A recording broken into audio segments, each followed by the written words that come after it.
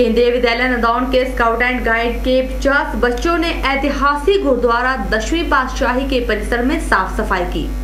सामाजिक स्वच्छता कार्यक्रम में बच्चों को समाज के प्रति सेवा, स्वच्छता की भावना उत्पन्न करने के लिए भारत स्काउट एंड गाइड संस्था के अंतर्गत केवीएस चंडीगढ़ मंडल के दिशा निर्देशों अनुसार इस कार्यक्रम का आयोजन किया गया।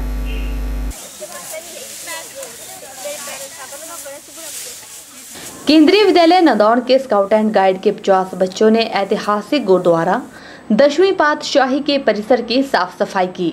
अधिक जानकारी देते हुए प्रभारी स्काउट एंड गाइड पी के मेहता ने बताया कि यह सामाजिक स्वच्छता कार्यक्रम बच्चों को समाज के प्रति सेवा, स्वच्छता भावना उत्पन्न करने के लिए भारत स्काउट एंड गाइड संस्था के अंतर्गत के चंडीगढ़ मंडल के दिशा निर्देश अनुसार आयोजित किया गया। जिसमें केवी नदौन के स्काउट एंड गाइड ने बढ़ चढ़कर भाग लिया। स्काउट गाइड जो हैं सेंट्रल स्कूल्स के, वो एक के वी एस स्टेट के नाम से, जैसे पूरे भारत में भारत स्काउट एंड गाइड एक संस्था है। उसमें हर स्टेट का अपनी एक स्काउट गाइड की संस्था रहती है और के वी एस केंद्रीय विद्यालय संगठन की अपनी एक स्टेट है।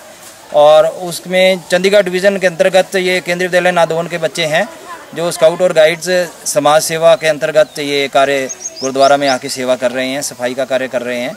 और ये बच्चों में ये प्रेरणा पैदा करने के लिए और ये आदत डालने के लिए कि समाज में सेवा करनी चाहिए। ये हमारा होता है कि हम साल में दो एक बार ये कार्य करते हैं सेवा का। इसके अंतर्गत समाज सेवा के अंतर्गत और समाज सेवा के अंतर्गत हम मेले में भी जाते हैं बच्चों को ले जाके।